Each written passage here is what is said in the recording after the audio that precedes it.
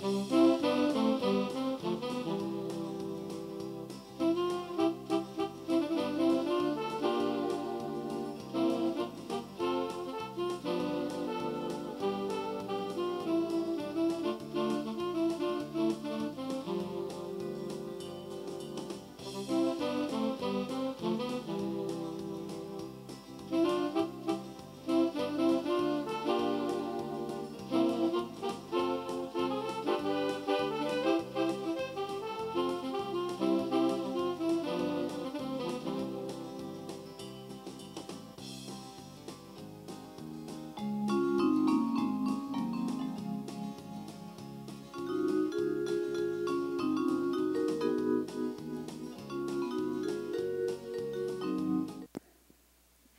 Our judges have completed their placings in this first class of the day, the Fall Yearling Heifer and Milk class.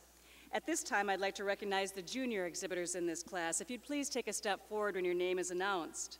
Second place junior in the class is entry 1943, Siegert's Mandel Colette, exhibited by Mallory Siegert of Peosta, Iowa. The winning junior, that's right, go ahead and applaud, folks. We appreciate that. Your winning junior entry in the class is entry 3135, VBCV Grand Royal ET, exhibited by Chris Vagley of Monticello, Wisconsin. Third place in the class goes to entry 1928, Blessing Bonanza Kelly, exhibited by Cade Blessing of Blessing Farms of Fort Wayne, Indiana. Second place is entry 1935, RNS Typewise Satori, exhibited by Bill and Lynn Vanderham of Hillsboro, Iowa. And your winning entry is entry 1940. She is also your best udder and bred and owned winner, Bojoy Ensign Miss GET, exhibited by Robert and Joyce Wagner of Quarryville, Pennsylvania. Congratulations.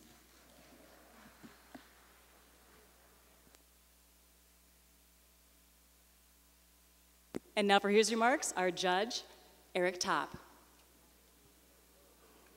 Well, how far our breed has came. Uh, you know, we got our milking yearlings out here. Heifers all born in September. Um, no winter yearlings out here, but just great group of uh, senior yearlings in milk. But the heifer we come to start with is a heifer. You admire this heifer. What a beautiful side profile heifer. She's sharp. She's dairy. She's angular. She's also the best udder cow in the class. A cow that's only been fresh three weeks. You know, you love the snugness of udder attachment. When you get behind her, she's got plenty of height and width to rear udder attachment. I think a cow can handle a little more milk in that rear udder, but what a beautiful cow to start the class. She goes ahead of the cow in second on that side profile. She's got a little more uphill run, a little more sharper and cleaner throughout. Give her advantages, maybe just a little more height, a little more definition of seam at the top of the rear udder today over the real stylish cow coming out in second. You admire the second place cow. She's a cow that is our second best udder. You love the snugness of fore udder attachment. You love the dairiness, the cleanliness this heifer has. But she also a heifer walks on a beautiful set of feet and legs. And then feet and legs go over our cow in third. She's also a little sharper and cleaner throughout. Also, I'm giving her an advantage. She just tracks a little more um, freer moving today on them rear legs than the real nice, beautiful uddered cow coming out in third. You admire this third place cow for that hardness across the top. She has a cow that does have a lovely mammary system.